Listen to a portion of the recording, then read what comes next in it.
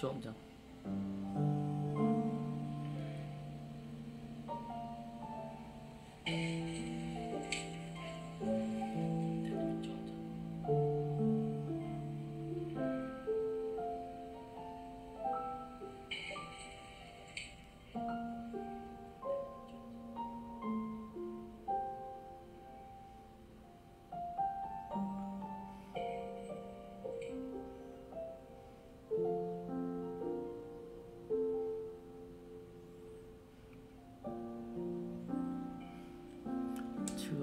បាទជំរាបសួរបងជំរាបសួរបងជំរាបសួរដល់អ្នកគ្នាអឺកុំព្យូទ័រខ្ញុំជាប់ដល់ពេលហ្នឹងទៅខ្ញុំមើលក្នុងទូរស័ព្ទអត់ជាប់អញ្ចឹងណាណាមួយឥឡូវនេះយើងបងប្អូនចង់រៀនសារវិទ្យាប្រូក្រាមរបស់ក្រសួងច្រើនអញ្ចឹងហើយចង់រៀន line ក្នុងកុំព្យូទ័រដើម្បីនិយាយអញ្ចឹងប៉ុន្តែអត់សូវជំនាញតែខាង line ហ្នឹងណាបានតែថតវីដេអូអឺសួស្តីបងវណ្ណត្រាសុខសប្បាយបងច្បងសុខសប្បាយបងអញ្ញងសៀវសុខសស្តីបង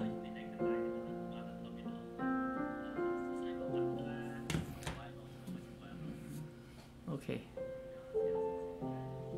អឺមួយទៀតថ្ងៃហ្នឹងខ្ញុំចង់និយាយរឿងពីរបងប្អូនអរនេះនិយាយរឿងមួយរឿងបងប្អូនដែលចង់រៀនសាស្ត្រវិទ្យាប្រងក្រាមរបស់ក្រសួងតើត្រូវមាន ID ប្រមាណ website ហើយទី2ចង់ចែកម្លែកពីការបូកបន្ទុកដូរវីសាព្រោះបងប្អូនជាច្រើនគាត់តែងតែសួរថាបូកបន្ទុកវាមិនអញ្ចឹងណាហើយខ្ញុំបញ្ជាក់ខ្ញុំមិនមែនជាអ្នករៀបចំឯកសារឬក៏មិនមែនជាអ្នកជំនាញខាងហ្នឹងទេគ្រាន់ថាខ្ញុំធ្លាប់ទៅបកប្រែនៅ center ទៅធ្វើពងសាវ៉ាដងឬក៏ អឺសួរពីអ្នកគ្រូជាច្រើនអញ្ចឹងណាអញ្ចឹងហើយខ្ញុំក៏ចែកម្លែកអឺវាមិនមែនជាជំនាញរបស់ខ្ញុំទេតែនិយាយជាការចែកម្លែកអញ្ចឹងសង្ឃឹមថាជួយដល់បងប្អូនសម្រាប់បូកបន្ទុកខ្លួនឯងហើយយើងត្រៀមសម្រាប់ដាក់ពាក្យដូរវីសាណាពីព្រោះឆ្នាំ2022នេះគេយកច្រើនជាងមុនប៉ុន្តែបន្ទុកក៏ច្រើនជាងមុនដែរអញ្ចឹងណាអញ្ចឹងបើសិនជាយើងត្រៀមបានច្រើនវាវាជួយបានច្រើនដែរអញ្ចឹងណាបងប្អូន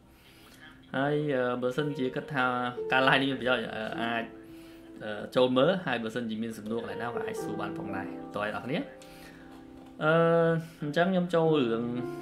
ទី1រឿងទី1គឺយើងនិយាយអំពី Savetona program ប៉ុន្តែខ្ញុំចូលកន្លែងនេះតើចាំកម្មអញ្ញោយក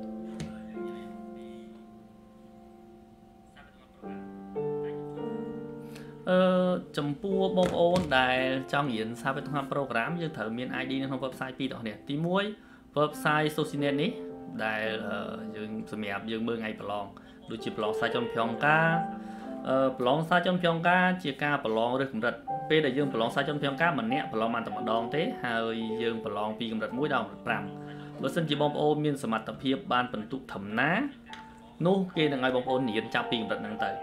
មួយទៀតបងប្អូនខ្លះក៏តែងតែនិយាយថាបើប្រឡងជាប់អញ្ចឹងយើងអាចយកសញ្ញាបត្រមកដាក់ពាក្យដូរវីសាបានភ្លាមអត់អឺចំពោះចម្លើយគឺបានប៉ុន្តែបងប្អូនត្រូវចុះឈ្មោះចូលរៀនសិនឧទាហរណ៍ថាឥឡូវបងប្អូនប្រឡងចូលទៅបានកម្រិត4អញ្ចឹងបងប្អូនចុះឈ្មោះចូលរៀននៅសាលាដូចជានៅ Incheon ឬក៏នៅ Suwon យើងរៀនចូលរៀនបានមួយអាទិត្យឬក៏ពីរអាទិត្យហើយអញ្ចឹងយើងអាចសុំសាលាឲ្យគេធ្វើកថាបញ្ជាក់មកគឺយើងអាចយកទៅដាក់ពាក្យដូរវីសាបានហើយ តើអ្នកនេះអញ្ចឹងសាចំចំការយើងមើលនៅនេះថ្ងៃប្រឡងថ្ងៃប្រឡងថ្ងៃដាក់ពាក្យគឺមាននៅក្នុងហ្នឹងសម្រាប់ជុំកាន់ភៀងការក៏ដូចគ្នាជុំហាត់ភៀងការក៏ដូចគ្នាដែរអញ្ចឹងបងប្អូនត្រូវមាន website នេះសម្រាប់មើលថ្ងៃប្រឡងសម្រាប់ចុះឈ្មោះចូលរៀនអញ្ចឹងបងប្អូនដែលមាន ID login ចូលឡើងនេះមកគេនឹងមានចូលទៅក្នុងទៀត my page ទៅហើយហើយបងអាចបងប្អូនអាចរើសាលាបានអញ្ចឹងណាអាហ្នឹងសម្រាប់ website ចុះឈ្មោះចូលរៀនត្រូវទេ បន្តមកនៅកន្លែង KIIP នេះ KIIP នេះជា website មួយរបស់ក្រសួងសាធារណប្រូក្រាមដូចគ្នាគ្រាន់ថា website នេះគេសម្រាប់ចុះឈ្មោះប្រឡងតើទេថ្ងៃប្រឡងក៏គេប្រកាសក្នុងនេះបន្ទុកប្រឡងក៏គេនៅក្នុងនេះអឺប៉ុន្តែកន្លែងនេះអត់អាចចុះឈ្មោះចូលរៀនបានទេអញ្ចឹងណាអញ្ចឹងមកមើលនៅកន្លែងនេះមានអាស៊ីនឆងឆប់ស៊ូអឺមើលបន្ទុកអីផ្សេងផ្សេងទេអញ្ចឹងយើងត្រូវមាន ID នៅក្នុង website ពីរហ្នឹងដើម្បីអឺចុះឈ្មោះប្រឡងដូចជាចុះឈ្មោះចូលរៀនវិទ្យាសាស្ត្រវិទ្យាប្រូណាតើបងប្អូន អញ្ចឹងមានមានត្រូវមានពីរហ្នឹងហើយរបៀបបង្កើតក៏ខ្ញុំបានធ្វើដាក់នៅក្នុង YouTube ដែរបងប្អូនគាត់ថាវាមានរបៀបខុសគ្នាបន្តិចដោយសារឥឡូវវាឆ្នាំ2022វាអាចកែប្រែខ្លះប៉ុន្តែខ្ញុំគិតថាវាជំនួយដល់បងប្អូនដូចគ្នាបងប្អូនអាចធ្វើបានដដែលទេរបៀបក៏នៅតែដដែលដែរអញ្ចឹងអឺអញ្ចឹងសម្រាប់រឿងទី1បងប្អូនដែលចង់រៀនសារវិទ្យា program ត្រូវមាន website នៅក្នុងអឺត្រូវមាន ID នៅក្នុង website ពីរហ្នឹងទី1 KIIP ទី2ហៅ Socialnet យើងអាចហៅថាសារវេទិកា program តែមួយគាត់ថានេះសម្រាប់ចុះឈ្មោះចូលរៀនសម្រាប់មើលថ្ងៃប្រឡង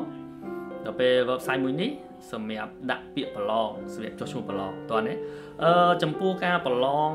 នៅខែ2ថ្ងៃទី3ខែ5នេះគេចុះឈ្មោះថ្ងៃ12ខែ5អញ្ចឹងបងប្អូនដែលមានបំណងចង់ចូលរៀនគួរតែបង្កើត ID ក្នុងនេះឲ្យហើយតោះនេះបងប្អូនហើយនៅថ្ងៃទី15ខែ2 ម៉ោង9ព្រឹកគេចាប់ផ្ដើមចុះឈ្មោះតោះនេះអញ្ចឹងបងប្អូនព្យាយាមបង្កើតខ្លួនឯងទៅគឺល្អហើយខ្ញុំបញ្ជាក់មួយទៀតចំពោះ website នេះវាអាចលឿនតិចអ្នកនរព្រោះខ្ញុំចូលចិត្តលឿនអញ្ចឹងនៅក្នុង website នេះយើងបង្កើតបានតែម្ដងទេក្នុង ID card យើងមួយបើសិនជាភ្លេចលេខកូដឬក៏បាត់លេខកូដអីគឺយើងត្រូវតាក់ទងទៅខាង center ដើម្បីឲ្យគាត់ជួយដាក់ពាក្យសុំលេខកូដថ្មីมันអាចប្រើបានឡើងវិញតើណាហ្នឹងរឿងទី1អូខេយើងរឿងទី1ចប់ប៉ុណ្ណឹងហើយសង្ឃឹមបងប្អូនអាចយល់ ឥឡូវយើងចូលដល់រឿងទី2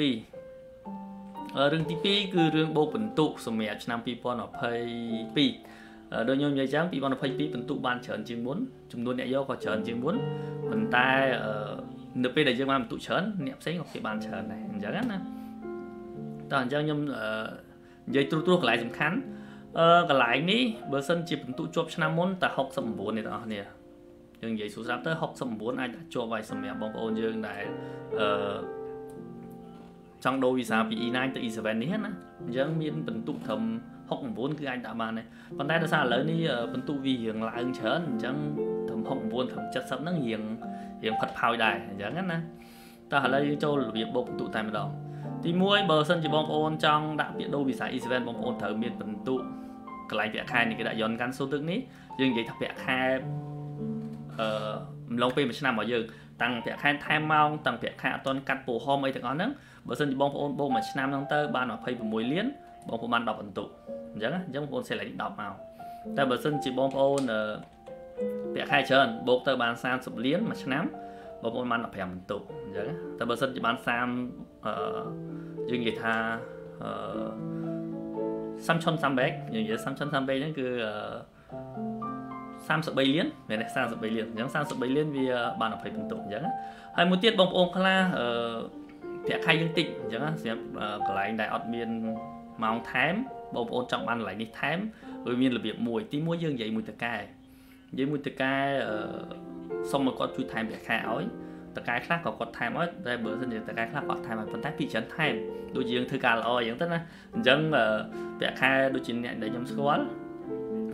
គឺគាត់បានប្រាក់ខែ2លានអញ្ចឹងណាបើសិនជាប្រាក់ខែ2លានយើងអត់បានគ្រប់26នេះទេប៉ុន្តែយើងឲ្យគាត់ថែមមួយខែ20ឬ30ម៉ឺនឲ្យយើងមកដល់ពេលយើងបើកលុយមកហើយយើងដកលុយសុទ្ធឲ្យគាត់វិញអញ្ចឹងក៏យើងអាចមានវិធីដោះស្រាយកន្លែងនេះដែរតោះណាអញ្ចឹងយើងនិយាយមួយតកាបានកន្លែងហ្នឹងកន្លែងនេះសំខាន់ជាងគេបើអត់កន្លែងហ្នឹងហើយជាពិសេសបងប្អូនកសិកម្មអត់កន្លែងហ្នឹងហើយវាពិបាកក្នុងការដាក់ពាក្យដូវីសាគឺសង្ឃឹមតិចមែនតើតោះណាអញ្ចឹងកន្លែងនេះខ្ញុំនិយាយថា10បន្ទុកសម្រាប់តែប្រាក់ខែបាន26លាន បាន30លាន15បាន33លាន20បន្ទុកអញ្ចឹងបងប្អូនបូកវិញខ្លួនទៅបន្ទាប់មកកន្លែងនេះគេនិយាយអំពីជំនាញយើងនិយាយថាជំនាញយ៉ាងចាស់ដូចជាបងប្អូនខ្លះគាត់ធ្វើការខាងមានឡានឈីកិឆាឬក៏យងចប់អញ្ចឹងបងប្អូនមានជំនាញហ្នឹងបងប្អូនទៅប្រឡងផ្នែក បញ្ជាក់អំពីសមត្ថភាពយើងនៅកន្លែងរបស់ក្រសួងរបស់រដ្ឋអញ្ចឹងបើសិនជាបងប្អូនមានសញ្ញាបត្រនោះបាន10បន្ទុកដូចជាបងប្អូនខ្លះរៀនខាងអគិសនីបងប្អូនខ្លះរៀនខាងបើកឡានឈីកិឆាបងប្អូនខ្លះរៀនខាងភាសាដែកយើងមកបាន10បន្ទុកតែបើសិនជាយើងអត់មានទេយើងអត់ទៅអញ្ចឹងអញ្ចឹងពីច្រើនគឺវគ្គនេះគឺអត់ទេតែបើសិនជាបងប្អូនមានកាន់តែល្អបញ្ជាក់សញ្ញាកន្លែងនេះតលតែទៅវិញ្ញាបនបត្រដែលទទួលស្គាល់ពីរដ្ឋគេបានបានបន្ទុកអញ្ចឹងបងប្អូន បន្ទាប់មកយើងមើលនៅខាងក្រោមខាងក្រោមបើសិនជាយើងបញ្ចប់ត្រឹមវិទ្យាល័យបាក់ដប់អញ្ចឹង5បន្ទុកហើយកន្លែងបញ្ញាបត្ររងបញ្ញាបត្រនេះគឺ10បន្ទុកអញ្ចឹងអញ្ចឹងបងប្អូនបូកតាមដល់មកបានហើយកន្លែងនេះអត់បាក់ទេហើយមួយទៀតសញ្ញាបត្រទី12បើសិនជាយើងត្រូវការមកប្រើបងប្អូនត្រូវទៅបញ្ជាក់នៅស្ថានទូត Grayson នឹងបានយកមកប្រើបានតោះនេះហើយបើឲ្យគេរត់ការហ្នឹងយើងចំណាយលុយតិចតែបើឲ្យបងប្អូនយើងនៅខ្មែររត់ក៏បានដែរតោះនេះក៏យើងត្រូវស្គាល់ពីរបៀបហើយ យើងសួរព័ត៌មានតិចទៅគឺបានហើយបើសិនជាយើងមានបងប្អូនអាចធ្វើការបានអញ្ចឹងបាន5បន្ទុកឬក៏10បន្ទុកបងប្អូនបូកប៉ុណ្ណឹងបានហើយបន្តមកទៀតអឺចំពោះអាយុចាំដល់ពេលខ្ញុំបូករួចហើយចាំខ្ញុំមើលសំណួរបើសិនជាមានសំណួរណាឆ្លើយបានខ្ញុំឆ្លើយអញ្ចឹងណាចំពោះអាយុវិញអឺអាយុបើសិនជាបងប្អូនកាន់តែក្មេងបានបន្ទុកកាន់តែច្រើនដូចជា24បាន20បន្ទុកអឺ27បាន17 30បាន14 33បាន11 បងប្អូនមើលមកខ្ញុំអាយុម៉ាត់អញ្ចឹងខ្ញុំបានត្រឹម33អញ្ចឹងបាន11ពិន្ទុដែរអឺប៉ុន្តែសម្រាប់បងប្អូនដែលអាយុច្រើនអញ្ចឹងបាន8ឬក៏បាន5ពិន្ទុអញ្ចឹងនេះអាយុអញ្ចឹងបងប្អូនបូកតាមនឹងមកហើយទៅសេចំណាំខ្លួនឯងផងបន្ទាប់មកកន្លែងនេះ topic ឬក៏សារវិទ្យា program កន្លែងនេះជាបន្ទុកដែលយើងអាចយកខ្លួនឯងបានតើអ្នកនរគ្នាដែលខ្ញុំតែងតែនិយាយថាសម្រាប់បងប្អូនដែលខ្វះបន្ទុកច្រើនគួរទៅរៀនដល់កម្រិត5 បាន20បន្ទុកតាំង topic តាំងសារវិទ្យា program គឺគេឲ្យបន្ទុកដូចគ្នាតើនេះ20បន្ទុកប៉ុន្តែកន្លែងនេះឥឡូវគេឲ្យ25សម្រាប់ឆ្នាំ2022នេះគេឲ្យ25ដោយសារបើសិនជាបងប្អូនរៀនសារវិទ្យា program ចាប់កម្រិត5គេថែមឲ្យ5បន្ទុកទៀតអញ្ចឹងវាស្មើនឹង25ប៉ុន្តែចាំបូកនៅខាងក្រោមអញ្ចឹងកន្លែងនេះបងប្អូនគ្រីសតាម20ឬក៏10 5 10ឬក៏5បើរៀនដល់កម្រិត2បាន5បន្ទុកបើរៀនដល់កម្រិត3បាន10បន្ទុករៀនដល់កម្រិត4បាន15រៀនដល់កម្រិត5បាន20 តើអ្នកគ្នាកន្លែងហ្នឹងហើយដូចខ្ញុំបញ្ជាក់អញ្ចឹងចំពោះសារវេទិកា program ហើយនឹង topic វាខុសគ្នា2ទី1 topic បើសិនជាបងប្អូនប្រឡងម្ដងហើយសញ្ញាបត្រវាប្រើ2ឆ្នាំខ្ញុំនិយាយថាសញ្ញាបត្រអញ្ចឹងប៉ុន្តែវាលិខិតបញ្ជាក់ឯងប្រើ2ឆ្នាំគឺយើងត្រូវទៅប្រឡងម្ដងទៀតប៉ុន្តែចំពោះសារវេទិកា program យើងប្រឡងចូលរៀនយើងរៀនហើយប្រឡងបញ្ចប់តែម្ដងគឺយើងអាចប្រើបានរហូតតែម្ដងអញ្ចឹងអញ្ចឹងគឺ5ឆ្នាំ10ឆ្នាំអ្នកដែលមកអាណត្តិទី1ហើយ រៀនយកសារវិទ្យា program ទុកចាំមកអាណត្តិទី2ចាំដាក់ពាក្យសុំដូរវីសាអញ្ចឹងរៀនសារវិទ្យា program ក៏បានដែរពីព្រោះអីរៀនវាម្ដងប្រើបានរហូតអញ្ចឹងយើងរៀនទុកកម្រិត5ចោលទៅដល់ពេល5ឆ្នាំក្រោយយើងចង់ដូរវីសាក៏បានចង់ដាក់ពាក្យដូរក៏បានដែរព្រោះវាប្រើបានរហូតតែបើបងប្អូនប្រើ topic អឺប្រឡងហើយដាក់ពាក្យអស់50000សម្រាប់ការប្រឡងប្រឡងបានតែ2ឆ្នាំទេគឺវាវាផុតសុពលភាពហើយតើណាប៉ុន្តែវាក៏មានចំណុចល្អមួយដែរត្រង់ថាចេះ topic ប្រឡងភ្លាម បានសញ្ញាបត្រប្រើបានភ្លាមសារវិទ្យា program ប្រឡងភ្លាមត្រូវទៅរៀនសិនរៀនបានមួយអាទិត្យពីរអាទិត្យឬក៏បីអាទិត្យហើយបានសុំសញ្ញាបត្រគេយកប្រើប្រដោះអាសន្នបានបន្ទាប់មកត្រូវប្រឡងបញ្ចប់ទៀតបានចេញសញ្ញាបត្រពេញឲ្យយើងតោះនេះប៉ុន្តែបើគេចេញពេញឲ្យយើងហើយយើងប្រើបានរហូតមកប្រើរាប់ឆ្នាំហ្មងតោះនេះអញ្ចឹងគឺយើងអាចប្រើបានអញ្ចឹងអានេះខ្ញុំបញ្ជាក់ពីអឺ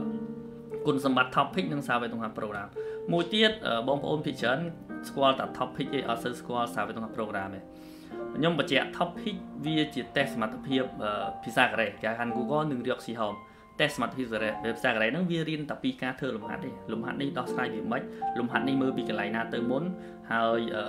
កលឹះនៃការដោះស្រាយវាមិនអញ្ចឹងវាចេះតែពាក្យនិងវេយ្យាករណ៍ឯងប៉ុន្តែបើសិនជាបងប្អូនរៀនសារវេទិកា program វិញបងប្អូនចេះទាំងពាក្យប្រើប្រាស់ប្រចាំថ្ងៃ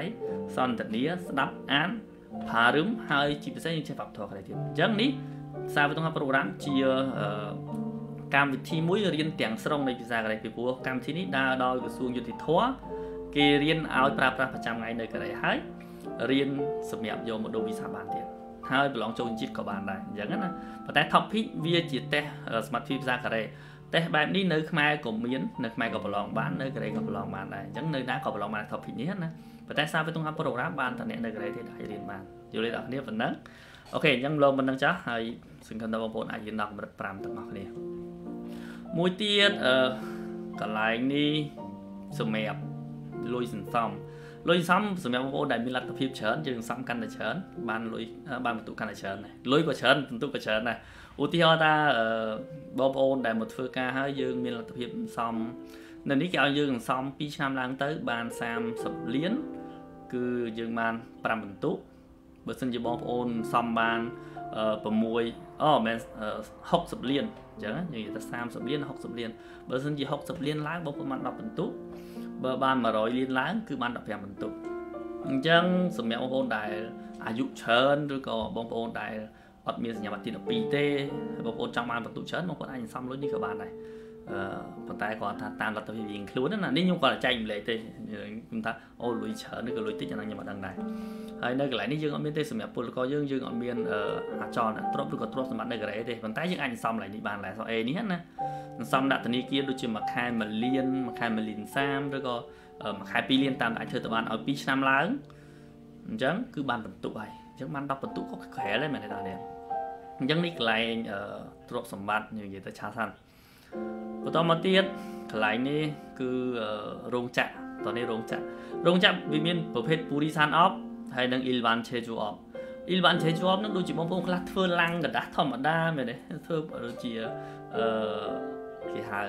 plastic ធម្មតាមែនទេអញ្ចឹងការងារស្រាលស្រាលហ្នឹងបើសិនជាបងប្អូនធ្វើ6ឆ្នាំឡើងបាន10បន្ទុក4ឆ្នាំឡើងបាន5បន្ទុកតោះណាខាងសំណងក៏ដូចគ្នាដែរអញ្ចឹងគឺបានដូចគ្នា ប៉ុន្តែបើសិនជាបងប្អូនធ្វើការងារខាង Purisan Up Purisan Up Purisan Up ឡើយនេះយើងបញ្ជាក់ថាការងារប្រភេទធ្ងន់ធ្ងរដូចជាបងប្អូនចលក់ថ្នាំបាញ់ថ្នាំតូចាំងឬក៏ទូគឹមឬក៏យងចប់អញ្ចឹងគឺនៅ Purisan Up ហើយហើយកន្លែងនេះគ្មានពីណាដឹងក្រៅពីតកែអញ្ចឹងបងប្អូនចង់ដឹងថារោងចក្រហ្នឹង Purisan Up ឬក៏មិនមែនទេទៅសួរតកែទៅសួរតកែថារោងចក្ររបស់យើងហ្នឹង Purisan Up ឬក៏ Ilvan San Up អញ្ចឹងអឺបើសិនជាអត់ចេះសួរទៀតតែទៅសួរ បន្តមកបើសិនជាយើងធ្វើនៅ Purisan Up បាន15បន្ទុក6ឆ្នាំឡើងបើសិនជាធ្វើនៅ4ឆ្នាំឡើងបាន10បន្ទុកអញ្ចឹងបានច្រើនណាស់ខ្ញុំបញ្ជាក់ឡើងនេះបងប្អូនខ្លះមកអាណត្តិទី1នៅរោងចក្រ A ដល់ពេលមកអាណត្តិទី2នៅរោងចក្រ B មែនទេនៅរោងចក្រ B អញ្ចឹងសួរថាយើងបានបន្ទុកអត់បានបន្ទុកដូចគ្នាឆ្នាំជាមួយនេះគេបូកបញ្ចូលគ្នាប៉ុន្តែបើសិនជាបងប្អូនធ្វើនៅរោងចក្រ A Puri San Op រោងចក្រទី2 Ilban San Op អញ្ចឹងបានបន្ទុក Ilban San Op ហើយ ប៉ុន្តែបើសិនជារោងចក្រទី1បងប្អូនធ្វើនៅ Puri San Op រោងចក្រទី2ក៏ Puri San Op អញ្ចឹងយើងបានបន្ទុកនេះបានបន្ទុកនេះនៅខាងនេះតើអ្នកនេះប៉ុន្តែវាត្រូវការតែសុំកតាបច្ចៈពីរោងចក្រ A ដែលយើងធ្វើពីអាណត្តិមុនណាបងប្អូននេះអញ្ចឹងកន្លែងហ្នឹងបងប្អូនដឹងកន្លែងហ្នឹងមួយទៀតទៅបានហើយហើយនិយាយមួយតកែទៅហើយមួយទៀតយើងទៅរោងចក្រចាស់សុំកតាគេមកគឺបានហើយអញ្ចឹងបាន15បន្ទុកដែរយល់ទេបងប្អូននេះ អឺមួយទៀតកន្លែងនេះ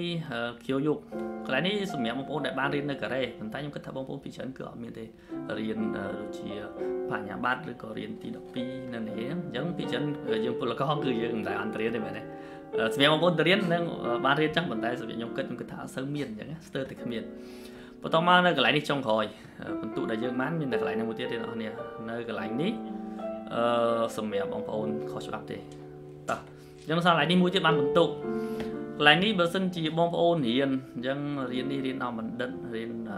ជំនាញឬក៏រៀនទី12អីផ្សេងផ្សេងអញ្ចឹងខ្ញុំគិតថានេះអត់មានទេកន្លែងនេះជុងអាំងពូឆោជូឆុនសម្រាប់បងប្អូនពលករគំរូយើងអាចដាក់ពាក្យសុំគ្រូយងជូឆុនសកតាកដាស់យើងនិយាយថាកដាស់ណែនាំពីក្រសួងកាងារកដាស់គេណែនាំយើងពលករគំរូពលករល្អអញ្ចឹងទៅបាន10បន្ទុកតើណា ហើយសម្រាប់បងប្អូនដែលមកអាណត្តិមុនរោងចក្រផ្សេងអាណត្តិនេះរោងចក្រផ្សេងកន្លែងនេះគឺសុំអត់បានទេអញ្ចឹងណាបងប្អូនមួយទៀតអឺកន្លែងសារវិទ្យា program ISU នេះសម្រាប់បងប្អូនដែលរៀនសារវិទ្យា program ដល់កម្រិត5ហើយប្រឡងជាប់នៅពេលដែលប្រឡងជាប់នោះគេឲ្យយើង5បន្ទុកបន្ថែមឥឡូវនេះឆ្នាំ2022នេះណាគេឲ្យបន្ទុក5បន្ថែមអញ្ចឹងហើយបានខ្ញុំនិយាយថាអ្នកដែលរៀនសារវិទ្យា program កម្រិត5ចប់ប្រឡងជាប់ឥឡូវនេះបានបន្ទុក25អញ្ចឹងណាបងប្អូន ហើយអ្នកដែលប្រឡងកម្រិត5ធ្លាក់រៀនម្ដងទៀតប្រឡងម្ដងទៀតបើសិនជាបានបន្ទុក40ឡើងអានោះក៏បងប្អូនទទួលបាន5បន្ទុកដែរគេចេញ ISU ជើងឲ្យយើងយើងបាន5បន្ទុកដូចគ្នាអញ្ចឹងយើងបាន25ដូចគ្នាតើបងប្អូនមួយទៀតកន្លែងនេះបងប្អូនដែលធ្លាប់នៅជូសូរបស់យើងអាសេដ្ឋានរបស់យើងនៅមីយ៉ុននៅជីយ៉កមីយ៉ុនអឺបអញ្ចឹងនៅពាក្យនេះដកពីខ្ញុំគីដូចេញអញ្ចឹងបងប្អូនដែលនៅឆ្ងាយឆ្ងាយ បើសិនជារស់នៅ4ឆ្នាំឡើងបាន10បន្ទុក3ឆ្នាំឡើងបាន7បន្ទុក2ឆ្នាំឡើងបាន5បន្ទុកប៉ុន្តែបញ្ជាក់នៅខ្ញុំគីដូអ៊ីនឆុនអីគឺអត់បានទេទោះជាយើងមានមីយ៉ុនមានអឺបអីក៏ដោយក៏អត់បានដែរអញ្ចឹងនៅក្រៅពីនោះនៅខាងក្រោមនេះក៏គិតថាបងប្អូនយើងអត់ដែរទៅធ្វើដែរសម្រាប់បងប្អូនដែលការងារអត់សូវមានហើយយើងទៅធ្វើការងារតាមប្រដៅណាអញ្ចឹងបើធ្វើបានមួយខែបាន2បើធ្វើបាន3មួយខែអាហ្នឹងបានបន្ទុកទៀតប៉ុន្តែ អឺការងារអត់មានក៏យើងមិនដែរទៅធ្វើការពលករខុសរដូវដែរអញ្ចឹងអត់បានទេអឺសម្រាប់នេះសម្រាប់បងប្អូនដែលបងពុនច្រើនអញ្ចឹងបាន5បន្ទុកដែរប៉ុន្តែជាទូទៅកន្លែងនេះក៏អត់ដែរប៉ុន្តែកន្លែងនេះមួយទៀតដែលយើងអាចយកបន្ទុកបានគឺសាវេពុងសាដែលយើងទៅធ្វើការងារពងសាវ៉ាល់ដងយើងហៅការងារសង្គមណាកន្លែងនេះគឺយើងទៅដូចជាទៅជួយបកប្រែនៅតាម center នៅទីពេទ្យនៅកន្លែងចាស់ជរានៅតាមពហិរជាពិសេសកន្លែងដែលជួយយើងច្រើនពីច្រើន កន្លែង computer ពលករយើងអាចសុំឬក៏យើងអាចមើលតាមអ៊ីនធឺណិតឬក៏សួរជនជាតិកូរ៉េឲ្យគេជួយរកកន្លែងហ្នឹងឲ្យដើម្បីយើងទៅធ្វើការងារស្ម័គ្រចិត្តហ្នឹងកន្លែងនេះយើងបាន200ម៉ោងមិនបាន3បន្ទុកហ្នឹងដល់នេះអញ្ចឹងបងប្អូនទៅធ្វើការស្ម័គ្រចិត្ត200ម៉ោងនឹងបាន3បន្ទុកហើយតោះណា200ម៉ោងខ្ញុំដាក់សអេចាអញ្ចឹង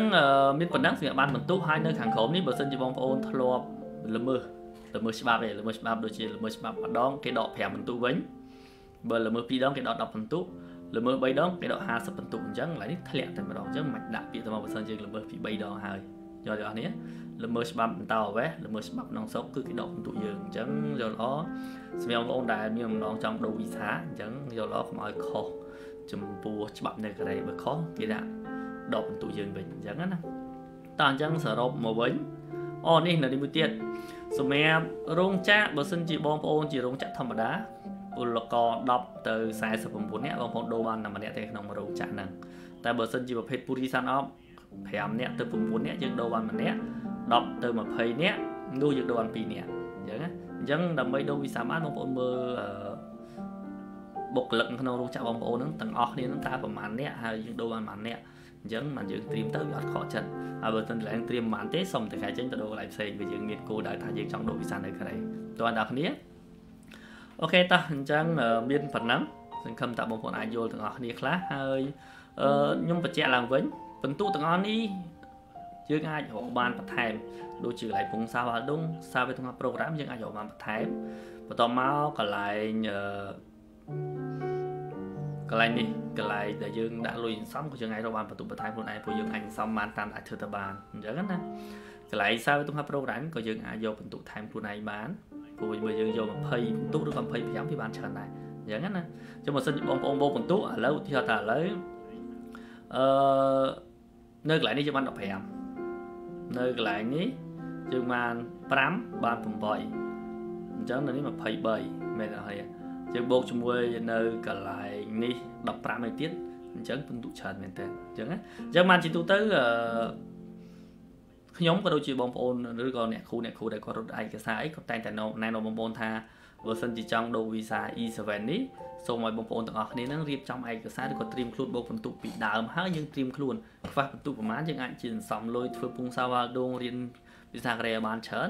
អញ្ចឹងទើបយើងអាចដាក់ពាក្យដូរទៅវាគ្រប់បន្ទុកតែម្ដងតើអ្នកគ្នាអូខេអញ្ចឹងមានប៉ុណ្ណឹងហើយខ្ញុំសូមមើលសំណួរតិចគីឡូបងប្អូនមានសំណួរ កន្លែងណាដែលខ្ញុំបញ្យល់រៀងលឿនអឺកន្លែងភ្យោឆាំងហ្នឹងអាហ្នឹងជាបានតសើបានតសើពីចវាយក្រុងបានតសើពីប្រធានាធិបតីអាហ្នឹងបានគេឲ្យអញ្ចឹងណាបានតសើពីសាលាអាហ្នឹងអត់បានទេពី center ក៏អត់បានដែរព្រោះភ្យោឆាំងហ្នឹងទទួលស្គាល់ដោយរដ្ឋអាហ្នឹងបានគេឲ្យអញ្ចឹងណាអាហ្នឹងគេហៅភ្យោឆាំងតែអញ្ចឹងវាពិបាកយកដែរអាហ្នឹងណាអឺ សម្រាប់បងរៀនកម្រិតមួយអូខេបងរៀនរៀនពីកម្រិតមួយទៅល្អដល់ពេលដល់លើតែរៀនកម្រិតដប់ថ្នាក់ប្រងរៀនកម្រិតដប់ថ្នាក់ព្រោះបើដប់ថ្នាក់ប្រឡងឡើងថ្នាក់អត់ចប់យើងរៀន3ខែឡើងវិញអញ្ចឹងវាស្ដាយពេលដែរអញ្ចឹងណាអឺខ្ញុំមើលសំណួរទៅលើវិញខ្ញុំទិញសិភៅវិជ្ជាករតែមិនបានចូលអត់អីទេបងបើសិនជាបងទិញសិភៅវិជ្ជាកររៀនក៏បានហើយបងព្យារៀនពាក្យឲ្យបានច្រើនរៀន វិជ្ជាករបានច្រើនពូក្នុងវិជ្ជាករខ្ញុំបានបន្ថែមនៅសន្ទនានឹងក្រោមនោះចំពោះពាក្យក៏ខ្ញុំបានដកស្រង់ពីសភៅសាវិទ្យាប្រូក្រាម6ក្បាលដែលយើងដកស្រង់ឆ្នាំ2019 4ក្បាល2021 2ក្បាលដែលយើងដាក់បញ្ចូលគ្នាដោយសារសភៅតាមពិតឆ្នាំណាមក4 5ឆ្នាំគេអាប់ដេតម្ដងនេះគេគ្រាន់តែបន្ថែមពាក្យថ្មីថ្មីទេអញ្ចឹងណាប៉ុន្តែអត្ថន័យវិជ្ជាករគឺដូចគ្នាពីព្រោះភាសាកូរ៉េគេអត់កែប្រែទេអញ្ចឹងណាអញ្ចឹងបងប្អូនរៀនទៅគឺបានហើយ ហើយសភៅនោះវេយ្យាករណ៍គឺខ្ញុំដកស្រង់ពីសភៅសាវែទាំងអស់ហើយខ្ញុំបានបញ្ចូលដកស្រង់ពីសភៅ topic ក៏ដូចជាសភៅសម្រាប់បងប្អូនរៀនគេហៅ Jeronin Java នឹងដាក់ចូលបន្ថែមទាំងអស់អញ្ចឹងគឺមានគ្រប់បណ្ដឹងក្នុងនោះហើយអញ្ចឹងបងប្អូនអាចរៀនបានមួយទៀតបងប្អូនដែលទិញសភៅហើយរៀនកន្លែងណាដែលមានចម្ងល់អាចឆាន page បានផងដែរតើនេះអឺដូចជាអស់ហើយអត់មានសំណួរទេបើសិនជាមានសំណួរបងអាចសួរបានខ្ញុំបើខ្ញុំឆ្លើយបានខ្ញុំឆ្លើយបើឆ្លើយបានខ្ញុំជពាក់សិនអញ្ចឹងណា អឺ ID យើងនិង password មានស្រាប់តែចង់ដូរអឺបើសិនជាបងចង់ដូរ ID តបងផ្ញើម៉ាស៊ីន fax ទៅខាងក្រសួងអឺបន្តហ៎ដូចជាខាងក្រសួងយុទ្ធភ័ណ្ឌអញ្ចឹងគេនឹងដូរឲ្យប៉ុន្តែជាទូទៅ ID វាពិបាកក្នុងការដូរបន្តិចបើដូរដូរបានតែ password អញ្ចឹងណា password យើងអាចដូរខ្លួនឯងតែ ID យើងត្រូវផ្ញើទៅគេមិនអាចដូរបានអញ្ចឹងណាបងហ្នឹងសម្រាប់ ID អ ញ្ចឹងខ្ញុំបញ្ជាក់ថាសម្រាប់សារវេទហាត់ program នេះបើសិនជាបងប្អូនបង្កើត ID វាគួរតែកត់ទុក ID គួរតែកត់ទុកលេខកូដក៏ដូចគ្នាកត់ទុកទៅដល់ពេលរយៈពេល2ឬ3ខែគេឲ្យយើងដូរលេខកូដម្ដងហើយបងប្អូនដល់ពេល2 3ខែយើងដូរលេខកូដយើងកត់ទុកទៀតហើយរបៀបដូរលេខកូដនៅក្នុងសារវិទ្យា program បើសិនជាខ្ញុំដូរឲ្យបងប្អូនតែឲ្យខ្ញុំដូរវិញខ្ញុំដូរតែសញ្ញានឹងក្រោយពីមុនគាត់ដាក់អក្សរ S លើក្រោយខ្ញុំដាក់អក្សរដុល្លារទៅបន្ទាប់មកខ្ញុំដាក់អក្សរសញ្ញាឧទាន បន្ទាប់មកពី3ខែក្រោយយើងដាក់អក្សរ A ទៅអញ្ចឹងបានហើយវាអត់ទៅពិបាកណាតែបងប្អូនដូរច្រើនពេកដល់ពេលផ្លិចយើងពិបាកទៅសុំពឹងអ្នកគ្រូដូចជាពឹងអ្នកគ្រូសុភ័ណ្ឌនៅសអ៊ូលពឹងអ្នកគ្រូនៅអ្នកគ្រូប៉ែនពេជ្រណានៅ Incheon អញ្ចឹងពួកគាត់រវល់ដែរដល់ពេលយើងគ្រាន់តែ ID នឹងយើងអត់កត់ទុកដែរពឹងគាត់ច្រើនពេកក៏ហត់ដែរហើយបងប្អូនខ្លះទៅពឹងអ្នកគ្រូកូរ៉េនៅអានសានអញ្ចឹងអញ្ចឹងពួកគាត់ក៏រវល់ការងារច្រើនដែរប៉ុន្តែបើយើងលេខកូដយើងកត់ទុកឲ្យស្រួលតិចយើងអត់សូវរំខានពួកគាត់ទេតើអ្នកនរគ្នាអឺ ខ្ញុំបានមួយដែរអូខេបើសិនជាបងបានមួយនឹងបានបន្ទុកកន្លែងហ្នឹងហើយបងអូខេអញ្ចឹងមានប៉ុណ្ណឹងហើយបងប្អូនមានសំណួរអាចសួរបានបើសិនជាអត់ទេអញ្ចឹងខ្ញុំនឹងបញ្ចប់វីដេអូត្រឹមហ្នឹងហើយចំពោះបងប្អូនដែលចង់បូកបន្ទុកខ្លួនឯងខ្ញុំបានផុសរូបកន្លែងបូកបន្ទុកហ្នឹងដាក់នៅក្នុង page ហើយអញ្ចឹងបងប្អូនអាចមើលនៅក្នុង page បានអឺសម្រាប់បងប្អូនដែលចង់បានសភៅវិជ្ជាករអញ្ចឹងបងអាចឆាតមក page ខ្ញុំនឹង ញ៉ាំសារទៅហើយបងផ្ញើឈ្មោះសេដ្ឋានមកក្នុង page ខ្ញុំនឹងរៀបចំសភៅជូនបងផងដែរអឺលោកគ្រូចុះបន្តវិស័យ E7 បន្ទុកចាប់ពី52ឡើងនោះអាចបន្តបានបានទេ ចំពោះបន្ទុក52បើសិនជាបងដាក់ពីពីមុនពីមុនណាបងបានជាប់ហើយអញ្ចឹងបងនៅតែដូរបានអញ្ចឹងប៉ុន្តែឥឡូវនេះបន្ទុក52គឺគេអត់ឲ្យដាក់ទេឥឡូវតណាបន្ទុក56ឬក៏64ប៉ុន្តែបន្ទុកយើងដាក់បានមែន នៅពេលដែលលទ្ធផលចេញមកវាធ្លាក់ដដែលទេពីព្រោះមិត្តភ័ក្ដិខ្ញុំដាក់បន្ទុក67អញ្ចឹងណា67ដាក់ទៅនៅតែធ្លាក់ដដែលព្រោះបន្ទុកចុះ69អញ្ចឹងណាបងបើសិនជាបង67ហើយយកទៅដាក់នៅតែធ្លាក់ដដែលព្រោះគេចុះ69អញ្ចឹងយកល្អយើងរៀបចំបន្ថែមដូចជាបងប្អូនខ្លះក៏គាត់ទៅធ្វើពងសាបងប្អូនខ្លះក៏គាត់ រៀបឯកសារផ្សេងផ្សេងតាមផ្លូវកាត់ខ្លះខ្លះគេមានផ្លូវកាត់ខ្លះដែរហើយបងប្អូនខ្លះក៏ឲ្យតកែជួយធ្វើនេះធ្វើនោះបន្ថែមដើម្បីយើងប្រគប់ដល់បងប្អូនខ្លះទៀតគាត់តកែគាត់ស្រឡាញ់គាត់ថែមពាក់ខែរហូតដល់30លានក្នុងមួយឆ្នាំអញ្ចឹងបន្ទុកគាត់ឡើងតាមនឹងដែរអញ្ចឹងណាអញ្ចឹងបានខ្ញុំថាបងប្អូនគួរតែបូកបន្ទុកមើលសិនបន្ទាប់មកខ្វះប្រមាណយើងរកបន្ថែមតើណាបើសិនជាខ្វះផ្នែកភាសាកូរ៉េអញ្ចឹងយើងអាចរកបន្ថែមភាសាកូរ៉េផ្នែកខ្វះរឿងលុយយើងសំយើងអាចសំលុយពីពីមុនមកហើយអឺ ជាទូទៅបើសិនជាបងប្អូនសល់ឆ្នាំកាន់តែច្រើនសល់ពី3ឆ្នាំឡើងខ្ញុំគិតថាគួរតែសំលុយបើយើងមានគម្រោងចង់ដូរវីសាសំលុយទៅដើម្បីទី1សល់លុយទៅផ្ទះវិញផងទី2បានបន្ទុកសម្រាប់ដូរវីសាផងអញ្ចឹងអឺបើអត់សំលុយក្នុងប្រទេសកូរ៉េតែមានលុយអឺសម្រាប់នៅកូរ៉េទោះយើងមានលុយពីក្រៅយកមកក៏គេអត់ទទួលស្គាល់ដែរបងគេត្រូវមានខរេនៃយកសទៀតត្រូវមានអឺ គេហៅថាប្រវត្តិផ្ញើលុយអញ្ចឹងណាអញ្ចឹងតោះលបងដាក់ប្រចាំខែរាល់ថ្ងៃក្នុងកុងសំហ្នឹងមកគេឲ្យបន្ទុកដល់ពេលយើងយកលុយពីក្រៅមកគេឲ្យបន្ទុកដដែលទេអញ្ចឹងណាអឺតមកបន្ទុកបានទៅបាច់ចាប់ពីអឺចំពោះបន្ទុកឥឡូវនេះបន្ទុកបើសិនជាបងសួរថាបន្ទុកជាប់ហ្មង69ឡើងចាំបងដាក់អាហ្នឹងនឹងជាប់ អញ្ចឹងណាតែបើក្រុមហ្នឹងយើងដាក់បានប៉ុន្តែវាអត់ជាប់អញ្ចឹងណាបងសុភាអូមួយទៀតបងសុភាធ្លាប់សួរខ្ញុំពីរឿងបច្ចៈសញ្ញាបត្រពីខ្មែរមកសញ្ញាបត្រទី12ណាអញ្ចឹងចាំដល់ពេលខ្ញុំ live ចប់ចាំខ្ញុំឆាត់ទៅបងឬក៏បងឆាត់មកក្នុង page តិចមកក៏បានដែរឬក៏ឆាត់មក account ខ្ញុំផ្ទាល់ក៏បានដែរអឺពីព្រោះខ្ញុំបានសួរយ៉ាងអញ្ចឹងណាខ្ញុំទៅសួរ live ស្ថានទូតកាលពីខ្ញុំទៅលេងខ្មែរ អឺបន្ទាប់មកតាមបន្ទុក68ដាក់បដូរវិស័យសង្គមចប់បានអឺបន្ទុក68យើងស្ទើរតិចបងពីព្រោះឥឡូវដូចខ្ញុំបានជំរាបអញ្ចឹងគេបន្ថែម server ទុំហាំ program សម្រាប់អ្នកជាប់កម្រិត5គេឲ្យថែម5បន្ទុកបន្ថែមទៀតអញ្ចឹង5បន្ទុកបន្ថែមពីមុនជាប់69បើសិនជាពួកអ្នកដែលធ្លាក់ពីមុនដូចបន្ទុក67លេខអ្នកធ្លាក់ណាដល់គេបន្ថែម5បន្ទុកទៀតវាយើងច្រើនយើងដាក់ដាក់បានបងប៉ុន្តែបើសង្ឃឹមវិញខ្ញុំគិតថាសង្ឃឹមទៅ70ទៅ80%អញ្ចឹងណាតែបើសិនជា យកល្អយើងដាក់ទៅព្រោះហេងសអញ្ចឹងណាអញ្ចឹងដាក់ល្អបង6 68ដាក់ទៅបងហើយបើសិនជាបងមានវិធីណារកបន្ទុកបន្ថែមទៀតអញ្ចឹងគួរតែបន្ថែមអញ្ចឹងណាអឺដូរតាំង2020ហ្នឹងហើយបងបងដូរតាមតាំង2020អញ្ចឹងល្អឥឡូវនេះមានកិច្ចជាមួយថ្មីដែរអឺចំពោះវគ្គសាវេតុងហាប្រូក្រាមខ្ញុំបញ្ជាក់មួយទៀតបងប្អូនជាច្រើនតែងតែសួរថាលោកគ្រូគេចុះឈ្មោះចូលថ្ងៃណា ចំពោះវគ្គសាវេតុងហាប្រូក្រាមការចុះឈ្មោះចូលនេះគេអត់ប្រកាសទេអញ្ចឹងណាតលតបងប្អូនប្រឡងជាប់ហើយចូល login ឆែកមើលទៅ បានគេចេញសាលាឲ្យបើអត់ចេញសាលាទេនោះតយើងចាំមើលតចេញសាលាមកតើណាដល់ពេលបងប្អូនចូលរៀនមួយវគ្គហើយរៀនជាមួយអ្នកគ្រូដល់ពេលរៀនចប់អ្នកគ្រូនឹងគាត់ប្រាប់ហើយគាត់ប្រាប់ថាអឺនៅពេលដែលខែណាគេនឹងចាប់ទទួលចុះឈ្មោះទៀតអញ្ចឹងតើអ្នករៀន អ្នកគ្រូគាត់នឹងប្រាប់បើអ្នកគ្រូអត់ប្រាប់ទេអញ្ចឹងយើងមានតែចូល login ឆែកមើល login ឆែកមើលមួយអាទិត្យម្ដងឬក៏4 5ថ្ងៃម្ដងអញ្ចឹងណាតើនេះអអញ្ចឹងបាទយើងដឹងថាមានសាលាណាគេរើសមួយទៀតបងប្អូនខ្លះក៏សួរថាគេរៀនថ្ងៃណាម៉ោងណាជាទូទៅយើងពលករ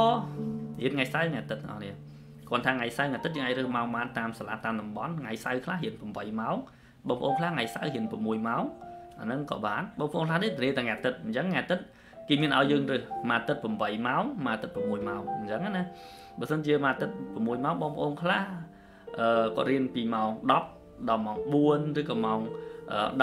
ដល់ម៉ោង2អញ្ចឹងវាមានតាមម៉ោងតាមសាលានីមួយៗអញ្ចឹងណាអញ្ចឹងបងប្អូនរើសបានហើយបងប្អូនគ្រួសារ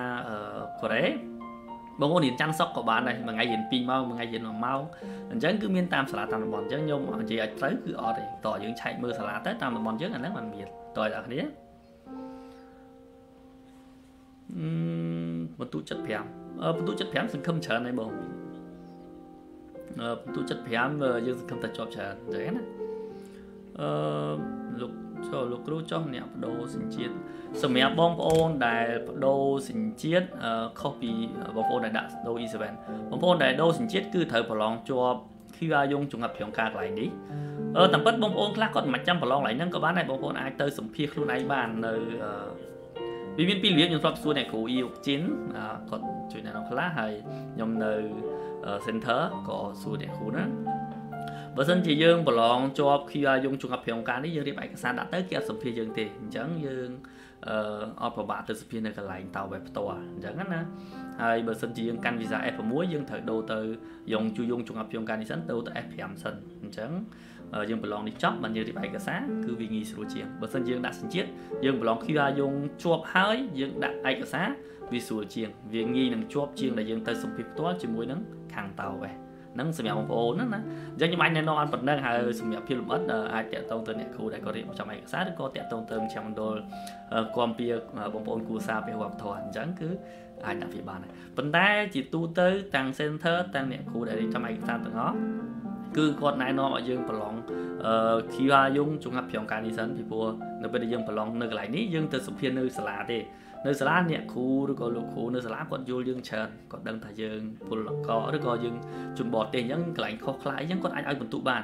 ប៉ុន្តែបើទៅកន្លែងតោវេះតែម្ដង អញ្ចឹងខុសទីទួចគឺធ្លាក់តែម្ដងដូចជាយើងជាងចម្រៀងជាតិសាចលអ៊ីលចលអីអញ្ចឹងបើសិនយើងជាងខុសគឺគាត់ឲ្យធ្លាក់តែម្ដងអញ្ចឹងអញ្ចឹងវាពិបាកហ្នឹងអញ្ចឹងបានជាទូទៅបងប្អូនគួរតែរៀនសាវេទងប្រូក្រាមជប់សិនចាំរៀបឯកសារគឺវាជំនួយច្រើនតើអ្នកនរគ្នាអឺ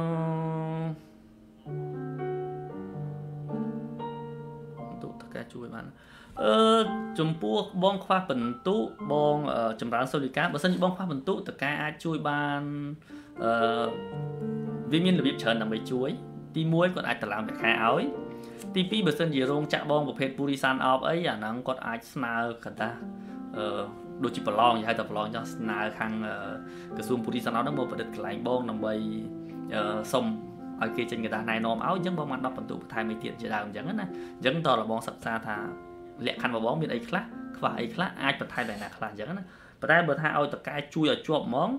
អាហ្នឹងវាអត់បានទេពីព្រោះក្រសួងនៅកូរ៉េមិនដូចនៅខ្មែរទេតកែធានាក៏អត់បានអញ្ចឹងណាប៉ុន្តែតកែអាចគេអាចមានរបៀបអញ្ចឹងណាបងចូលលោកគ្រូប្រឡងថ្ងៃណាអឺបងខៃសែមប្រឡងថ្ងៃទី3ខែ5ហ្នឹងប្រឡងសាវិទ្យាប្រូក្រាមសាច់ចំប្រងការនៅកន្លែងនេះដូចជាមានដែរចាំកាមិនញ៉ោអូយកគីនៅកន្លែងនេះបងប្អូននៅកន្លែងនេះបងប្អូនមើលនៅខាងមុខនេះមក ចឹងកាមិនញ៉ោអូនៅកន្លែងនេះសាច់ជនប្រងការអញ្ចឹងសាច់ជនប្រងការគេប្រឡងនៅថ្ងៃទី5ខែ3ហើយចុះឈ្មោះនៅថ្ងៃទី15ខែ2កន្លែងចុះឈ្មោះនេះផងដែរបងប្អូនព្រោះឥឡូវនេះអ្នករៀនច្រើនមិនថាជនជាតិយើងជនជាតិគេទេអញ្ចឹងចុះឈ្មោះថ្ងៃទី15ហ្នឹងម៉ោង9ព្រឹកបងប្អូនត្រូវឆ្លៀតពេលចុះអញ្ចឹងណាបើសិនជាចុះអត់ទាន់ទេម៉ោង2ដល់10ឬក៏ម៉ោង1អីភាគច្រើនពេញហើយនៅកន្លែងសំខាន់សំខាន់ដូចជាសួនអីហ្នឹងគឺភាគច្រើនពេញហើយអញ្ចឹងណាអឺអញ្ចឹងហើយត្រូវតែឆ្លៀតមួយទៀតការចុះឈ្មោះនេះវាពិបាកជាងមុនដោយសារអីគេឲ្យយើងតម្រងជួរណាពេលចុះឈ្មោះអញ្ចឹងត្រូវចាំកន្លះម៉ោង1ម៉ោងឬក៏ពេលខ្លះទៅ60 30តាមមនុស្សច្រើនបន្តិចអញ្ចឹងអញ្ចឹងយើងត្រូវអង្គុយចាំហើយទូរស័ព្ទយើងត្រូវបើករហូត បើបិទភ្លើងគេនឹងលុកអាយយើងចេញវិញយើងត្រូវតម្រង់ជួបពីដើមសារថ្មីវិញអញ្ចឹងយល់ល្អបងប្អូនដែលមានអំណងចង់ចុះឈ្មោះនេះសូមតកែឈប់កន្លះម៉ោងឬក៏ឈប់1ម៉ោងឯងដើម្បីចុះឈ្មោះចូលរៀនទៅបានអាចចុះបានហើយបើសិនយើងចុះយឺតអញ្ចឹងយើងត្រូវទៅប្រឡងខែ5ហើយបានអាចចុះម្ដងទៀតបានអញ្ចឹងវាចំណាយពេលយូរអញ្ចឹងណាអឺមិនខ្ញុំមើលដល់ណាអូនេះដល់ កាន់ visa E7 ប្រហែលឆ្នាំទើបអាចបដូរទៅ F2 បានអឺចំពោះ visa E74 ទៅ F2 នេះបងប្អូនអឺថ្ងៃមុនឃើញអ្នកគ្រូគាត់ផុសគាត់ថា3ឆ្នាំ3ឆ្នាំអាចដូរទៅ F2 បានហើយបន្ទុកបូកពី80ឡើងទៅអញ្ចឹងណាអញ្ចឹងតើបងសួរពួកគាត់ខាងហ្នឹងខ្ញុំអត់សូវបានដឹងដែរអញ្ចឹងណាប៉ុន្តែគាត់ថា3 3ឆ្នាំអាចដូរបាន ហើយបើសិនជាអ្នកដែលឥឡូវកាន់ E7 ហ្នឹងទៅស្រាវជ្រាវជាមួយក្រសួងគេថា5ឆ្នាំអញ្ចឹងប៉ុន្តែ F2 វាមានច្រើនប្រភេទបងប្អូនវាមាន F21 F22 អីចឹងណាអញ្ចឹងយើងស្រាវជ្រាវបន្ថែមទៀតហ្នឹងមួយអឺទូសរុបចិត្តមួយសង្ឃឹមអត់អឺចិត្តមួយសង្ឃឹមបងវាសង្ឃឹមច្រើនដែរអញ្ចឹងណាឥឡូវនេះយើងនិយាយទៅ ដោយសារថ្ងៃមិញខ្ញុំជ័យជាមួយអ្នកគ្រូកន្លែងនៅហានសានដែរគាត់ថាបើសិនជា70អីហ្នឹងយើងសង្ឃឹមប៉ុន្តែវាសង្ឃឹមអត់សូវច្រើនដូចមុនទេពីមុនយើង69នឹងអាចជាប់ហើយប៉ុន្តែដោយសារឥឡូវសារវិទ្យាប្រូក្រាមគេថែម5បន្ទុកអញ្ចឹងតាមបទពិសោធន៍ដែលខ្ញុំរៀនឬក៏ខ្ញុំទៅ center ក្នុងចំណោមអឺវគ្គសារវិទ្យាប្រូក្រាមសិស្ស20នាក់ជនជាតិវៀតណាម6នាក់ជនជាតិនេប៉ាល់3នាក់ហើយជនជាតិខ្មែរយើងពីចិនមានតែម្នាក់ទេអញ្ចឹងណា ហើយបើសិនជាបងសួរអ្នកដែលធ្លាប់រៀនសារវិទ្យាប្រូក្រាមរបស់ក្រសួងមួយថ្នាក់មានខ្មែរយើងម្នាក់អញ្ចឹងភាគតិចណាស់មានម្នាក់ឬក៏ពីរនាក់ទេអញ្ចឹងណាអញ្ចឹងហើយនៅពេលដែលគេថែម5បន្ទុកទៀតអញ្ចឹងជនជាតិដទៃហ្នឹងគឺគេឡើងច្រើនបន្ទុកអញ្ចឹងគាត់ថាវាពិបាកនឹងសង្ឃឹមប៉ុន្តែយើងដាក់ទៅអញ្ចឹងណាបងប៉ុន្តែបើឲ្យសង្ឃឹមច្រើនអាហ្នឹងវាអត់តន់ច្រើនទេប៉ុន្តែត្រូវតែដាក់អញ្ចឹងណាពីព្រោះមើលអត់ឃើញអាហ្នឹងយើងស្មានដូចគ្នាអញ្ចឹងណាបងអឺបន្ទុក70ដាក់ពាក្យដាក់ពេលណាក៏បានមែនអឺ បន្ទុក70ដាក់ពេលណាក៏បានជាទូទៅបន្ទុកនៅពេលដែលគេបើកទទួលបើយើងដាក់បានអញ្ចឹងណាបងសម្រាប់ពលករយើងទូទៅអឺលោកគ្រូចុះបើករៀនចូលគ្រប់ចប់អឺសម្រាប់វគ្គសិក្សាខាងខ្ញុំខ្ញុំយកសភៅក្រសួងវិទ្យាសាស្ត្រវិទ្យាប្រូក្រាមមកបរៀនយើងរៀនជីវីដេអូរៀនជីវីដេអូខ្ញុំបញ្យល់ពីការប្រែពាក្យវេយ្យាករណ៍សន្ទនាស្ដាប់អានហ្នឹងគឺខ្ញុំអានហើយខ្ញុំបញ្យល់ជាភាសាខ្មែរជូនទាំងអស់តែម្ដងហើយខ្ញុំថតជីវីដេអូហើយដាក់នៅក្នុងក្រុម បងប្អូនដែលចូលក្នុងក្រុមគឺមើលតាំងពីមេរៀនទី1ដល់មេរៀនបញ្ចប់នៃកម្រិតនីមួយៗដែលចូលឈ្មោះហ្នឹងហើយគឺខ្ញុំបកប្រែទាំងអស់អញ្ចឹងអាចសិក្សាបានប៉ុន្តែខ្ញុំមានបរិញ្ញាធំអឺកម្រិត4ទេអញ្ចឹងណាសម្រាប់បងប្អូនដែលរៀនចូលសញ្ជាតិគឺរៀនដល់កម្រិត5កម្រិត5គេបែងចែកជា2ទៀតគេមានវគ្គ70ម៉ោងនិងវគ្គ20ម៉ោងវាមានយ៉ងជូយ៉ងសម្រាប់ S5 គីយ៉ាយ៉ងសម្រាប់វីសាចូលសញ្ជាតិ អូអាហ្នឹងលេខហៅវីសាគេហៅចូលសញ្ជាតិទេមែនទេអញ្ចឹងខ្ញុំបរៀនត្រឹមកម្រិត4តែកម្រិត5បងប្អូនអាចប្រឡងចូលក្រសួងបានពីព្រោះយើងប្រឡងចូលក្រសួងយើងនឹងទទួលស្គាល់ដោយក្រសួងណាអញ្ចឹងយើងប្រឡងយ៉ងជូយ៉ងសម្រាប់ S5 គីយ៉ាយ៉ងសម្រាប់ចូលសញ្ជាតិអញ្ចឹងយើងមានការប្រឡងពីរហ្នឹងតើអ្នកនេះនៅកន្លែងនេះប្រឡងដូចជាខែខែ2ថ្ងៃ12ក៏គេមានប្រឡងដែរអញ្ចឹងប្រឡងគ្នា QR យងនិងជួងហាប់ពីងការយងជួយយង QR យងគឺប្រឡងឯជាមួយគ្នាទេអញ្ចឹង អឺបើយើងអត់រៀនសាវិទ្យាប្រាអាចទៅសម្ភាសបានអត់អឺចំពោះបងសម្ភាសចូលសញ្ជាតិក៏សម្ភាសដែរបងអា F2 អឺខាងនោះខ្ញុំអត់សូវច្បាស់ដែរបងតោះតែសួរខាងអ្នកគ្រូដែលគាត់រត់ការឯកសារពី E7 ទៅ F2 អញ្ចឹងឬក៏បងសួរខាងក្រសួងតៅវេតេទៅ1345ទៅ ជួបអ្នកគ្រូកូរ៉េបានបានគេលើកអ្នកគ្រូខ្មែរគឺតេទៅរវល់រហូតអញ្ចឹងអញ្ចឹងតេទៅសួរអ្នកគ្រូកូរ៉េទៅថាត្រូវការឯកសារខ្លះឬក៏អាចដូរទៅបានឯណាខ្លះគឺគេណែនាំយើងអញ្ចឹងណាបង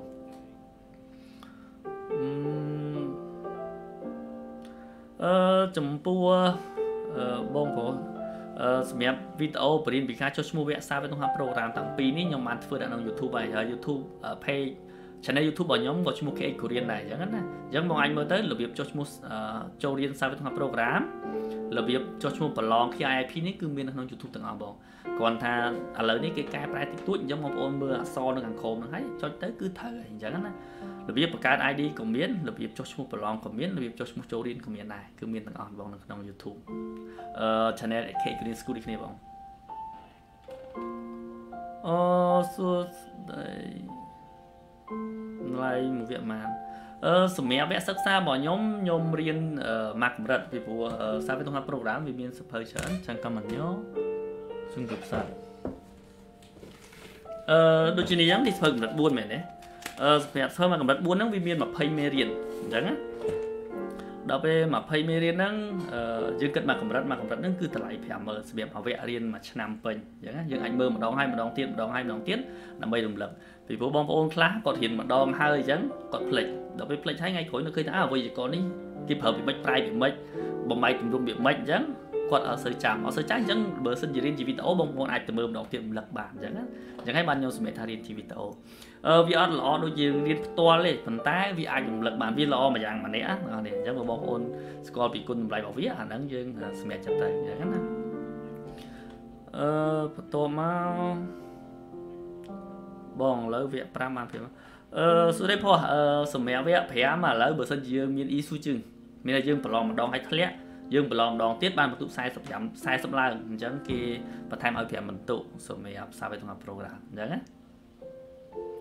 លោកគ្រូចុះឈ្មោះរៀនថ្នាក់ទី4ដូចទៅនឹងចុះឈ្មោះរៀនទី3ដែរមែនអឺចុះឈ្មោះរៀនវគ្គ4វគ្គ3វគ្គ1វគ្គ2គឺដូចគ្នាចុះឈ្មោះដូចគ្នាគ្រាន់ថាបើសិនយើងរៀនវគ្គ4ចប់ហើយចង់ទៅរៀនវគ្គ5យើងត្រូវប្រឡងជួងកាន់ភៀងការនៅកន្លែងនេះយកយី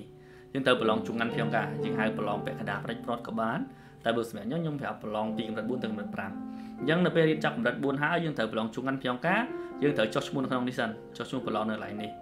ឈប់សួរអង្គនេះមកអនេះគេឲ្យលោក insert ទាំងអស់នេះអឺត្រូវចុះឈ្មោះនោះនេះយកជុំកាន់ប្រងការប្រឡងដូចយើងសាច់ចុំប្រងការដែរគឺមានសរសេរអឺបន្ទាប់មកមានសម្ភារដូចគ្នាអញ្ចឹងបើយើងសម្ភារជាប់បាទយើងអាចទៅប្រឡងទៅរៀននៅថ្នាក់យងជយងនេះបានអញ្ចឹងណាហ្នឹងថ្នាក់កម្រិត4ទៅកម្រិត5 អឺអ្នកជាប់ត្រឹមកម្រិត4បានបន្ទុកអីព្រោះអ្នកជាប់កម្រិត4បានបន្ទុកដដែលពេលអឺសម្រាប់ចូលឈ្មោះចូលរៀនសភៅតម្លៃផ្សេងអញ្ចឹងណាសភៅយើងក៏តម្លៃអឺដើមតម្លៃដើមជូនឲ្យយើងផ្ញើជូនផងដែរអញ្ចឹងណានឹងសម្រាប់សភៅអឺសម្រាប់សភៅនេះអឺឥឡូវនេះគេបែងចែកជាពីរសភៅសាវត្ថប្រូក្រាមនេះមានសភៅមេរៀនមួយនិងសភៅលំហាត់មួយអញ្ចឹងសភៅមានពីរក្បាល សភៅមេរៀនសម្រាប់យើងរៀនទូទៅដែលយើងរៀនពាក្យវេយ្យាករណ៍សន្ទនាស្ដាប់អាននិងវប្បធម៌កូរ៉េអញ្ចឹងយើងរៀនសាវត្ថប្រូក្រាមយើងចេះទាំងអស់ហ្មងហើយបន្តមកយើងអនុវត្តធ្វើលំហាត់នៅក្នុងសភៅលំហាត់ដោយខ្លួនឯងហើយកន្លែងណាឆ្ងល់អាចឆានមកសួរខ្ញុំបានហើយមួយទៀតចម្លើយនៃសភៅនីមួយៗគឺវាមាននៅខាងក្រោយស្រាច់អញ្ចឹងអាចផ្ទៀងផ្ទាត់បានអញ្ចឹងណាហើយនៅក្នុងនេះវាមាន QR code សម្រាប់ស្ដាប់ដែរអញ្ចឹងបងប្អូនដែលមានទូរស័ព្ទគឺអាចថតស្ដាប់បានហើយអ្នកណាដែលត្រូវបងប្អូនត្រូវការសលេងថត សលេងសន្ទនាយកទៅរៀនស្ដាប់ណាអញ្ចឹងក៏អាចឆាតមក Telegram របស់ខ្ញុំខ្ញុំផ្ញើសលេងជូនផងដែរទាំងសភៅលំហាត់ទាំងសភៅមេរៀនអញ្ចឹងអញ្ចឹងគឺបងប្អូនអាចរៀនបានហើយជាទូទៅបងប្អូនដែលចង់ប្រឡងសាស្ត្រវិទ្យាប្រូក្រាមនេះបងប្អូនអាចទិញសភៅយុទ្ធក្រសួងយុទ្ធរៀនសិនឬក៏រៀនតាមជាមួយលោកគ្រូដតីរៀនឲ្យបានច្រើនសិនចាំទៅប្រឡងពីព្រោះខ្ញុំបញ្ជាក់ម្ដងហើយម្ដងទៀតសាច់ខ្ញុំខ្ញុំការនេះគេឲ្យយើងប្រឡងតែម្ដងទេសម្រាប់ម្នាក់ណា បើសិនជាបងប្អូនប្រឡងទៅជាប់កម្រិត1ឬក៏កម្រិត2វាស្ដាយពេកអញ្ចឹងណាព្រោះយើងត្រូវរៀន3ខែមិនបានឡើងថ្នាក់3ខែមិនបានឡើងថ្នាក់ហើយបើសិនជាយើងជ្រុលប្រឡងធ្លាក់ទៀតយើងត្រូវរៀន3ខែឡើងវិញអញ្ចឹងវាស្ដាយពេកអញ្ចឹងយល់ល្អបងប្អូនគួរតែរៀននៅខាងក្រៅបានច្រើនមិនថារៀនខ្លួនឯងរៀនជាមួយខ្ញុំរៀនជាមួយលោកគ្រូដតីឲ្យបានច្រើនសិនចាំយើងទៅប្រឡងទៅប្រឡងបងប្អូនអាចជាប់កម្រិត4កម្រិត3អញ្ចឹងវាចំណេញបើយើងជាប់កម្រិត4យើងបាន15បន្ទុកស្រេចតែម្ដងហើយយើងរៀន3ខែទៅកម្រិត5 រៀន3ខែទៀតចប់អញ្ចឹងអញ្ចឹងវាចំណេញពេលហើយបានបន្ទុកច្រើនសម្រាប់ធ្វើការប្រើប្រាស់អញ្ចឹងណាតែបើសិនប្រឡងទៅជាប់កម្រិត1ឬក៏កម្រិត2អស់ឱកាសហើយយើងចំណាយពេលយូរសម្រាប់រៀនណាចង់និយាយចឹងអឺបើថាការអត់ដកឯកសារឲ្យតើយើងអាចដកយក E7 បានអត់ឬមានវិធីផ្សេងយ៉ាងអឺអាស៊ីងសម្រាប់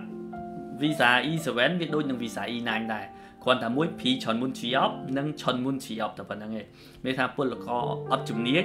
វាយើងមកពលករជំនាញទេដល់ពេលឥឡូវយើងដូរទៅជាពលករជំនាញអញ្ចឹងអ្វីអ្វីស្ថិតលើតកែទាំងអស់ដូររោងចក្របើតកែឲ្យដូរនៅតែអត់បានដូរដដែលទេឯកសារបើសិនជាតកែថាអត់ដូរឲ្យអត់ឲ្យទេយើងក៏អាចដូរបានដែរអញ្ចឹងណាគ្រាន់ថា E7 យើងអាចតមួយឆ្នាំម្ដងមួយឆ្នាំម្ដងតនៅបានរហូតទៅប៉ុណ្ណឹងខុសពី E9 ញ៉ោះ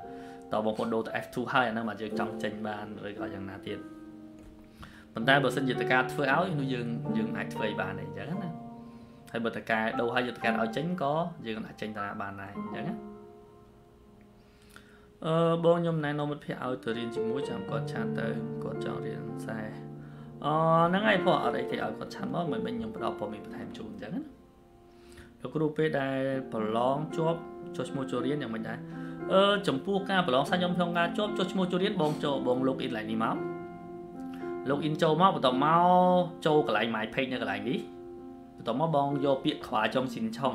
ខ្វាចុងស៊ីនឆុងហ្នឹងបងចុចកន្លែងហ្នឹងទៅហើយអូមកក្រុមនឹងឃើញមានសាលាហើយតែបើសិនជាអត់មានសាលាទេអញ្ចឹងអឺមានតែចាំចាំថ្ងៃណាដែលមានសាលាលោឡើងមកមកអាចចុះឈ្មោះចូលរៀនបានអញ្ចឹងណាដោយសារតែ ID សារវិទ្យា program នេះបើសិនជាគេយកទៅចុចលើសពី5ដងវាខូចដីកូដអញ្ចឹងហើយខ្ញុំអត់ log in ក្នុងការ live ឲ្យទេអញ្ចឹងពីព្រោះ log in ទៅបើសិនជាមានបងប្អូនខ្លះគាត់ចង់ log in ចូលលេងអញ្ចឹងយើងចុច5ដងឡើងខូចលេខកូដហើយអញ្ចឹងណាអញ្ចឹងហើយអត់អាចឧទាហរណ៍បានទេអឺសភៅមួយក្បាលអឺសភៅនេះមួយក្បាលតម្លៃវាបើសិនជាបងប្អូនទិញនៅបណ្ណាល័យមួយក្បាល10000នេះបងប្អូនអាចទិញបានអញ្ចឹងណាអូដូចជាអស់សំណួរហើយខ្ញុំមើលអស់ជាមួយខ្ញុំអូសទៅលើទីគីឡូមីកន្លែងណាខ្ញុំអត់ទាន់ឆ្លើយអញ្ចឹងណា ខ្ញុំបញ្ជាក់ខ្ញុំឆ្លើយខ្ញុំឆ្លើយតាមអ្វីដែលខ្ញុំដឹងខ្ញុំជាការចែកម្លែកទេមិនមែនជាជំនាញខ្ញុំរត់ឯកសារទេអញ្ចឹងកន្លែងណាបងប្អូនឆ្លើយអាចសួរបានកន្លែងណាខ្ញុំឆ្លើយបានខ្ញុំនឹងឆ្លើយហើយកន្លែងណាដែលបើសិនជាខ្ញុំមានកំហុសឆ្គងឯងអាចណែនាំវិញផងដែរតោះណា អឺមូលិកាហ្នឹងហើយសភៅចាំឆាតមក page មកខ្ញុំនឹងបកស្រាយបញ្យល់ជូនហើយខ្ញុំនឹងផ្ញើសភៅឲ្យមើលផងដែរអញ្ចឹងណាចំពោះសភៅទាំង4កម្រិតដែលខ្ញុំមានបរៀនហ្នឹងមួយទៀតចំពោះសភៅពាក្យនិងវេយ្យាករណ៍អាហ្នឹងក៏យើងមាន free សម្រាប់ផ្ញើជូនផងដែរសម្រាប់បងប្អូនយកណាអញ្ចឹងបងប្អូនត្រូវការសភៅពាក្យនិងវេយ្យាករណ៍អាចឆាត20បានដូចគ្នា អញ្ចឹងអឺនៅបងប្អូនមើល60នាទីជាងដែរអញ្ចឹងបងប្អូនមានសំណួរអាចសួរបានហើយបើសិនជាអត់មានសំណួរទេខ្ញុំនឹងបិទការ live ត្រឹមហ្នឹងអញ្ចឹងណាអឺមួយទៀតឥឡូវនេះបងប្អូនយើងចង់ដូរវីសាច្រើនអញ្ចឹងខ្ញុំណែសូមចែករំលែកការណែនាំម្ដងហើយម្ដងទៀតចំពោះកន្លែងនេះកន្លែងដូរវីសានេះបងប្អូនត្រៀមអឺពីមុនបានណាត្រៀមទី1បងប្អូនរៀនគួរតែរៀនភាសាកូរ៉េទុកឲ្យហើយកន្លែងនេះរៀនភាសាវេទហាប់ ប្រូក្រាមទុកឲ្យហើយពីព្រោះភាសាវេទហាប់ប្រូក្រាមសញ្ញាបត្រវាមកអាណត្តិទី1រៀនហើយមកអាណត្តិទី2ក៏អាចប្រើបានដែរអញ្ចឹងណាអញ្ចឹងយើងប្រើបានរហូតយល់ទេទាំងអស់គ្នាអញ្ចឹងបងប្អូនគួរតែរៀនអានេះទុកសម្រាប់បងប្អូនដែលមានកំណងចង់ដូរវីសានៅកូរ៉េហើយសម្រាប់បងប្អូនដែលចង់ដូរសញ្ជាតិអីក៏គួរតែរៀនឡើងនឹងទុកដែរទី2សម្រាប់អ្នកដែលមកអាណត្តិទី2ហើយអាណត្តិទី2ហើយបងប្អូនគិតថាចង់ដូរវីសាអញ្ចឹងណា អញ្ចឹងបងប្អូនគួរតែសន្សំលុយទុកទៅកន្លែងសន្សំលុយនេះអឺបងប្អូនអាចដាក់មួយខែ80ម៉ឺនឬក៏មួយខែ50ម៉ឺនក៏បានដែរប៉ុន្តែដាក់ឲ្យលើស2ឆ្នាំឡើងទៅហើយបើសិនជាបងប្អូនសល់ឆ្នាំតិចដាក់មួយខែ1លានជាង1លាន30ឬក៏1លាន20អីទៅអញ្ចឹងកន្លែងហ្នឹងដែលយើងអាចសំបន្ទុកបានមួយទៀតកន្លែងពងសានៅខាងក្រោមនេះបងប្អូន ពងសានេះត្បិតតែវាបាន3បន្ទុកមែនយើងធ្វើ200ម៉ោងបាន3បន្ទុកមែនប៉ុន្តែវាបានផ្ដល់បទពិសោធន៍យើងជាច្រើនហើយក៏ធ្វើឲ្យយើងស្គាល់បងប្អូនយើងដទៃជាច្រើនផងដែរហើយក៏បានជួយសង្គមកន្លែងខ្លះផងដែរតោះណាអញ្ចឹងមានប៉ុណ្ណឹងខ្ញុំមើលសំណួរបន្ថែមគឺលោកមានបងប្អូនសួរអឺចូលឈ្មោះចូលរៀនលើ YouTube បានទេអឺសម្រាប់នៅ YouTube បងចង់រៀនពីអីដែរបងបងចង់រៀនភាសាកូរ៉េ ចំពោះភាសាកូរ៉េក្នុង YouTube មានទាំងអស់បងខ្ញុំក៏មាន upload វីដេអូខ្លះខ្លះហើយបងប្អូនដទៃក៏មាន upload វីដេអូជាច្រើនដែរអញ្ចឹងណាប៉ុន្តែគាត់ក្នុង YouTube វាអត់ដូចនៅក្នុងវគ្គសិក្សាទេក្នុងវគ្គសិក្សាយើងដាក់មកសភៅមកសភៅគឺយើងដាក់តាមលំដាប់ទាំងអស់តែម្ដងហើយបើសិនជារៀនជាមួយក្រសួងអាហ្នឹងគឺគេខលវីដេអូរៀនផ្ទាល់ជាមួយក្រសួងមួយថ្ងៃ6ម៉ោងទៅ8ម៉ោងផ្ទាល់តែម្ដងអញ្ចឹងណាចំពោះក្រសួងវគ្គសាវិទ្យាប្រូក្រាមនេះអឺ នៅក្នុងវគ្គសាវិទ្យាប្រូក្រាមនេះក្រសួងយុតិធម៌គេបង្កើតមកដើម្បីឲ្យបងប្អូនជនបរទេសទាំងអស់នៅកូរ៉េហ្នឹងមិនថានិស្សិតមិនថាបងប្អូនមានគូសាមិនថាបងប្អូនពលករទេគឺគេឲ្យយើងរៀនភាសាកូរ៉េដែលប្រើប្រាស់បានប្រចាំថ្ងៃរៀនពាក្យវេយ្យាករណ៍សន្ទនាស្ដាប់អាននៅវប្បធម៌កូរ៉េអញ្ចឹងយើងរៀនប្រើប្រាស់ប្រចាំថ្ងៃដល់ពេលយើងចង់ដូរវីសាយើងគ្រាន់តែយកសញ្ញាបត្រហ្នឹងយកមកដាក់បូកបន្ទុកបន្ថែមដើម្បីស្ដាប់ពាក្យតែប៉ុណ្្នឹងទេប៉ុន្តែអាវគ្គនេះគឺគេឲ្យយើងរៀនដើម្បីប្រើប្រាស់ប្រចាំថ្ងៃហ្នឹងឯង គ្រាន់ថាយើងចង់ដូរវីសាអញ្ចឹងវាជួយយើងបាន20បន្ទុកបន្ថែមតែប៉ុណ្្នឹងទេតោះណាយើងបងប្អូនខ្លះថាខ្ញុំអត់ចង់ដូរវីសាខ្ញុំចង់ប្រើប្រាស់ប្រចាំថ្ងៃវគ្គតែមួយទេគ្រាន់ថាមួយយើងប្រឡងយកសញ្ញាបត្រវាយកទៅប្រើដាក់ដូរវីសាមួយទៀតយើងនិយាយថាយកយកសញ្ញាបត្រមកទុកមួយទៀតយើងខ្ជិលទៅប្រឡងក្រសួងយើងគាត់រៀនឲ្យទៅចេះប្រើប្រាស់ប្រចាំថ្ងៃទៅបានពីព្រោះសភៅនេះវាមានទាំងស្ដាប់វាមានទាំងស្ដាប់មានទាំងអានអញ្ចឹងវាមានទាំងស្ដាប់មានទាំងអានហើយមានវប្បធម៌កូរ៉េនៅក្នុងហ្នឹង អញ្ចឹងធ្វើឲ្យយើងចេះស្ដាប់ភាសាកូរ៉េបានល្អចេះពាក្យភាសាកូរ៉េច្រើនជាវេយ្យាករណ៍ភាសាកូរ៉េច្រើនយល់ដឹងពីវប្បធម៌កូរ៉េដើម្បីនៅប្រទេសកូរ៉េបានស្រួលតែតាក៏ស្រួលដែរក្នុងការរស់នៅប្រទេសកូរ៉េណាអ្នកនរអូខេដូចជាអសំណួរហើយអញ្ចឹងបងប្អូនក៏យល់ហើយដែរពីការរៀនសាស្ត្រវិទ្យា program និងការដូរវីសា E7 ហ្នឹងអឺខ្ញុំបញ្ជាក់ឡើងវិញចំពោះការបុកបន្ទុកបងប្អូនអាចមើលឯកសារនៅក្នុង page របស់ខ្ញុំបានដែលខ្ញុំបានអាប់ឡូតនៅក្នុងហ្នឹងតើអ្នកនរ អញ្ចឹងអឺក៏យូរដែរហើយចឹងអរគុណសម្រាប់អ្នកនរដែលតាមដានទាំងអស់គ្នាហើយបើសិនជាបងប្អូននៅមានចម្ងល់អីអាចឆាតមកក្នុង page ខាងខ្ញុំនឹងបកស្រាយបញ្យល់ជូនបន្ថែមផងដែរតើអ្នកនរគ្នាមានចម្ងល់អីទាំងការដូរវីសាទាំងការរៀនសាវិទ្យា program បងប្អូនដែលចង់រៀនសាវិទ្យា program online ជាវីដេអូថតជាមួយខ្ញុំបងប្អូនដែលចង់បានសភៅពាក្យនិងវេយ្យាករណ៍គ្រប់កម្រិតសាវិទ្យា program យកទៅសិក្សាអាចឆានមកពេកបានមួយទៀតខ្ញុំក៏មានលក់សភៅសន្ទនាប្រើប្រាស់ប្រចាំថ្ងៃក៏ដូចជាសភៅវិញ្ញាសាសម្រាប់ប្រឡងចូលជាតិកូរ៉េផងដែរតើអ្នកនរអញ្ចឹងសង្ឃឹមថាបងប្អូនឆ្នាំ2020នេះ គឺដូរវីសាបានច្រើនជាង ឆ្នាំមុនតើអ្នកគ្នាអរគុណសម្រាប់ការទស្សនាហើយសង្ឃឹមថាជួបគ្នានៅវីដេអូក្រោយជំរាបលាដល់អ្នកគ្នា